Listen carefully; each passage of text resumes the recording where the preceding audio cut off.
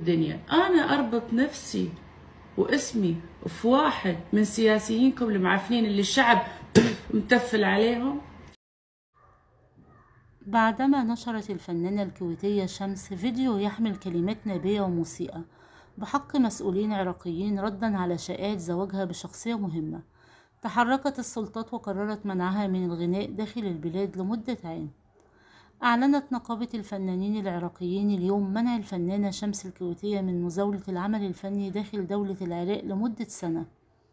وقالت النقابة في وثيقة جاء فيها نظرا لقيام المدعوة شمس بندر نايف الأسلمي شمس الكويتية بالتلفظ بألفاظ نابية وتهجمها على سياسي البلد.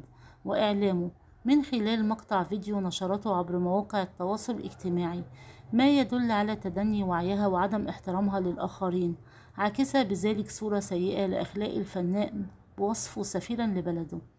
وذكرت إنه نتيجة لهذا التصرف تعلن نقابة الفنانين العراقيين منعها من مزاولة أي نشاط داخل العراق لمدة عام اعتبارا من تاريخ صدور هذا القرار. والتواصل مع السلطات الأمنية المختصة لإصدار قرار بمنعها من دخول الأراضي العراقية. ولفتت إلى أنه إذا تقرر الإساءة سيتم اللجوء إلى المحاكم المختصة.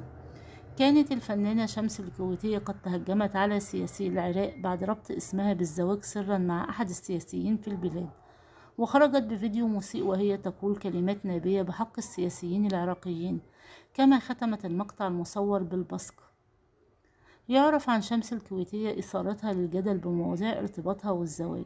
ففي وقت سابق عبر حسابها على موقع تويتر الزواج على الملياردير الأمريكي ومؤسس شركة ميكروسوفت بيل جيتس كانت المغنية التي تزوجت في السابق قد أكدت مؤخرا إنها عزباء وقالت في إحدى مقابلاتها إن كل الأشخاص الذين ارتبطت بهم لهم ثقل اجتماعي وسياسي فأنا لا أرتبط بشخص عادي كما شددت على عدم قبولها بالارتباط بشخص متزوج.